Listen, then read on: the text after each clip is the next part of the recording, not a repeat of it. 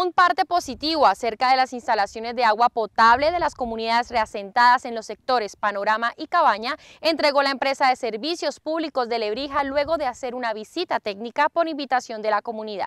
Acabamos de revisar las instalaciones, vemos que es un sistema muy bien estructurado, está bien organizado, cumple con todos los, requerimientos que, que exige la norma, tienen todos los procesos, tiene un proceso integrado de floculación, sedimentación, desarenador, tiene una planta de tratamientos que cuenta con filtros, está la dosificación de cloro, la dosificación de hipoclorito, entonces pues cumple con todas las especificaciones técnicas, tienen buenas redes, tienen una muy buena fuente de agua. El gerente de Empulebrija encabezó la visita al acueducto rural El Manantial que surte de agua potable a 42 familias, una escuela y dos salones comunales en los sectores Panorama y La Cabaña de Lebrija, construidos por Isagen mediante el programa de restablecimiento de las condiciones de vida de la población trasladada con ocasión de la construcción del embalse Topocoro.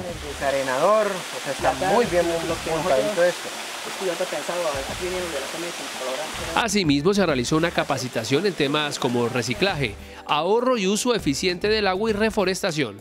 Que ellos puedan hacer un cuarto para guardar el reciclaje y entregárselo a una entidad recicladora del municipio de Lebrija. Hacerle el reciclaje, sacarlo y bregar a hacer abonos con el orgánico. Por parte de la CMB nos colaboró con unos árboles, hasta ahí tengo también unos árboles por sembrar, y vamos a ver si le sembramos donde venga el, acueducto. Además, se entregaron recomendaciones para una mejor administración del acueducto. Primero que todo tienen que apreciar lo que tienen en este momento. Tienen agua en muy buena calidad, con una planta de tratamiento muy buena.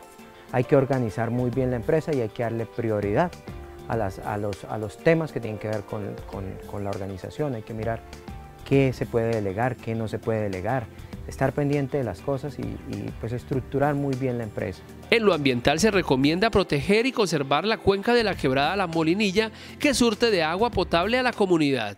Desde ese momento tienen que empezar a sembrar árboles nativos para que nos puedan garantizar la oferta hídrica y de hecho el mismo material orgánico que lo, eh, lo transforman y lo vuelven eh, compostaje lo pueden eh, utilizar fertilizando estos árboles y así garantizando el agua.